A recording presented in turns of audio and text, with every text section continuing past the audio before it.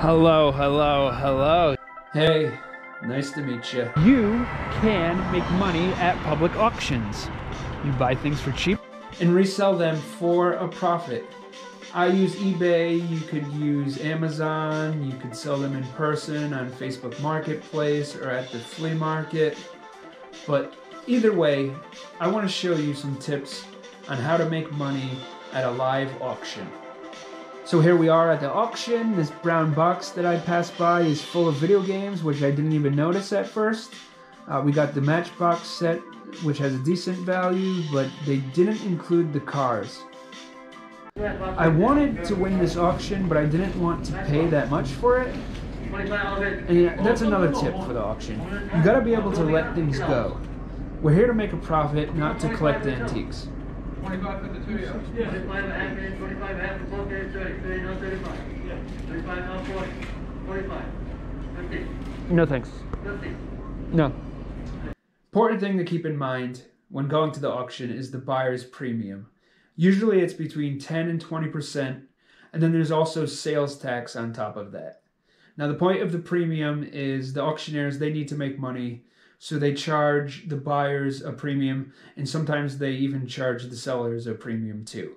So let's say you win an auction for $100, if it's 10% premium, you're really paying $110 and then if there's sales tax, let's say 7%, that's another $7 on there. So that's important to keep in mind. If you think you are paying 100, you're really paying 117. So I passed by some antique Lincoln logs here, and that's something I'm going to want to bid on. But I'm not going to want to bid right away. I'm going to see how low the auctioneer will go on this item. But on the other hand, you don't want to wait too long because at some auctions, if the auctioneer passes it, he's not going to put it back up. 1927 Lincoln lot. 1927. And a $50 bid. $50 bid. $25 bid. 1927.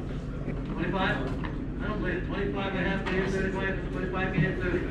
25, 30? 25, you gotta buy a number 35.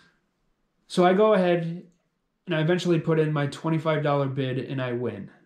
Moving along, there's some other items I'm interested in. I noticed these silver and golden age kids comics, which are cool and they do have some value. I'm not going to spend that much on these. I think people overestimate the value because they're old and they're in the plastic with the cardboard uh, backers, and uh, you know they're not really a, that high of a seller. 45, 47, 50, now 50. I got 40, uh, thank you, 40, I got 47, 50, 47, 50, you got it, 47, 50, thank you, Paul.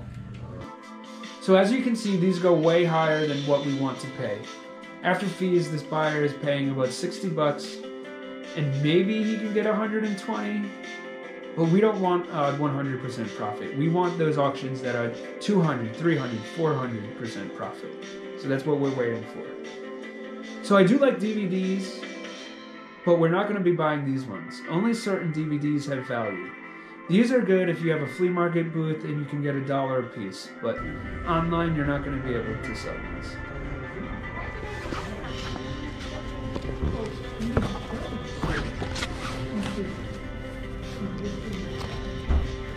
So what I am interested in is these old comics and magazines right here. It's 70s, 80s, sci-fi, horror, uh, adult comics that do have some value. And I'm definitely going to be bidding on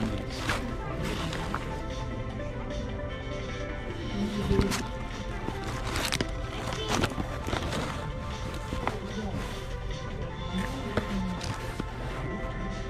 Me a ten dollar bid on the comic Right. books. Ten dollars I have now, twelve fifty. Ten, twelve fifty, now fifteen. Yeah. Seventeen fifty, now twenty. Yeah. Twenty-two fifty. I have twenty dollars in for twenty-two fifty, twenty dollars in for twenty-two fifty, all done at twenty dollars. So twenty dollars to thirty-five. Seven L. Seven L, we got a Thank you. bar- a Barbie lot. We got two, four, five. Little bonus tip for you if you make the slashing motion, that means you're willing to be the first bidder. So if it's at 10, that means you're willing to pay 5.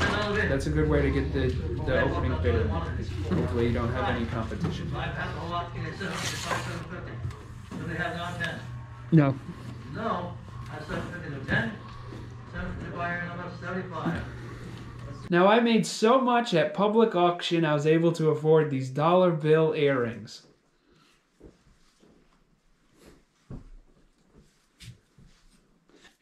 So one thing I overlooked during the initial auction walk around was this box of games right here. And I didn't know what was in it, but I figured I'd bid as high as thirty dollars, uh, and you know maybe get lucky. And uh, did pretty good. We got Bioshock here. We got a bunch of Wii games, Wii Fit. You can sell that for a little bit. Speed Racer.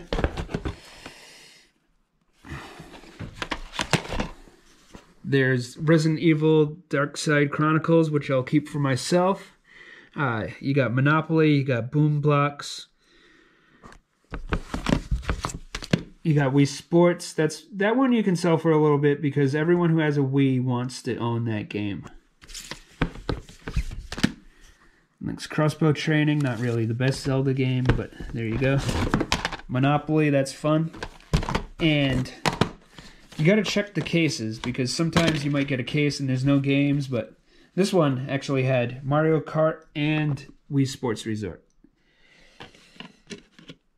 I'll keep the Resident Evil game for myself. I'll sell some of the games individual, and then I'll either lot up a bunch of games and sell them off, or I can just take them back to the auction and sell them that way. And it's like I got all these games, and it didn't cost me anything. I also found this the Star Wars uh, VHS collector's set uh, letterbox. Now I paid five bucks for this, uh, which is a little bit more than I'd like to pay, but that's the lowest they go, so you know might as well. And I can probably sell that for thirty bucks. I got these old magazines here. This was five dollars. Can probably get forty dollars for these. I got the magazines and the Lincoln Logs. Let's see here. 1923. So that's not a bad profit for someone like me who's basically unemployable. So go there, go to the auctions. Just please don't go to the ones I go to. Find find your own.